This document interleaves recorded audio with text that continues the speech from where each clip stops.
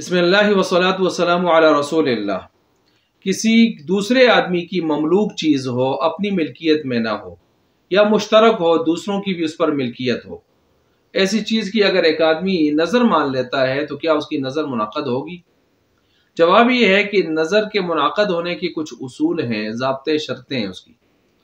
तो उनमें से ये भी है कि जब आप किसी मुतन चीज़ की नज़र कर रहे हैं ना तो वो आपकी ज़ाती, आपकी ममलूक होनी चाहिए। किसी दूसरे की चीज़ पर आप नज़र मान रहे हैं तो ये नज़र आपकी ठीक ही नहीं होगी। तो इसलिए मुतन चीज़ पर नज़र के मुनद होने के लिए उस पर, उसका मालिक होना ज़रूरी है। लिहाजा दूसरे की चीज़ पर या मुश्तरक चीज़ जिस पर मुकम्मल आपकी मिल्कियत ही नहीं है, दूसरों का मिल्क भी है तो ऐसी सूरत में वहाँ पर आपका नज़र मानना, ये नज़र मुनद नहीं होगी। अल्लाह ताला हमको दीन का फ़हम नसीब फरमा